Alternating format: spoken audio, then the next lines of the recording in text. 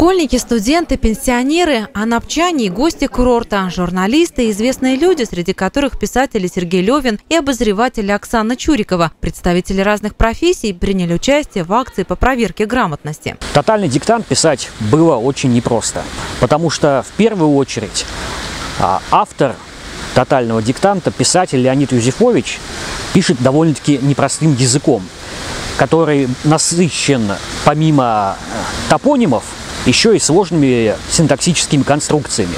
Поэтому иногда приходилось додумывать, как он построил то или иное предложение, и выбирать между двоеточием и тире с запятой или точкой с запятой.